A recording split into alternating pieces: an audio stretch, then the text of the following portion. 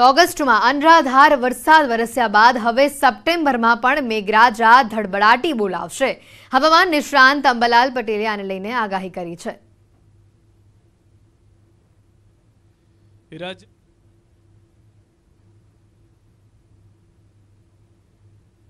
આવી નથી.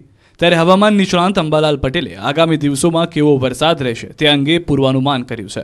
અંબાલાલે કહ્યું કે રાજ્યમાં વરસાદનો વધુ એક રાઉન્ડ આવશે. તેમણે જણાવ્યું છે કે સપ્ટેમ્બરમાં હળવા ચક્રવાત સાથે કેટલાક વિસ્તારોમાં સારો વરસાદ વરસશે. ત્રીસ અને એકત્રીસ ઓગસ્ટે ફરી વરસાદનું જોર વધવાની અંબાલાલની આગાહી છે. આ દરમિયાન ઉત્તર પૂર્વ ગુજરાતના વિસ્તારોમાં વરસાદ રહેશે. મહેસાણા, સમી, હારીજ, બેચરાજી, પંચમહાલના ભાગો, કચ્છના ભાગો, ઉત્તર સૌરાષ્ટ્ર અને દક્ષિણ ગુજરાતના ભાગોમાં વરસાદ રહેશે.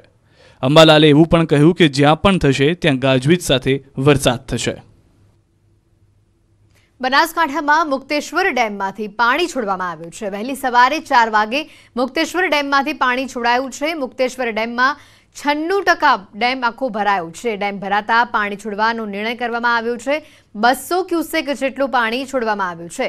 મુક્તેશ્વર ડેમની હાલની જે સપાટી છે એ છસો સાઠ પોઈન્ટ પચાસ ફૂટની નોંધાઈ છે. ડેમની ટોટલ સપાટી છસો એકસઠ પોઈન્ટ અઠ્ઠાવન ફૂટની છે થોડા દિવસ પહેલા જ ઉપરવાસમાં થયેલા ભારે વરસાદને લઈને ડેમમાં નવા નીરની આવક થવા પામી હતી.